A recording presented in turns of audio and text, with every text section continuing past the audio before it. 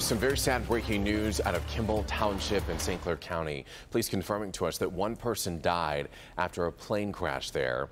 That crash happening just west of St. Clair County Airport near Wadhams and Yeager Roads into some nearby baseball fields. The plane had a Canadian flag on it right there on the tail of that plane. But police are still investigating the cause of the crash. We will keep you updated as we get more details throughout the morning right here on the air and on clickondetroit.com.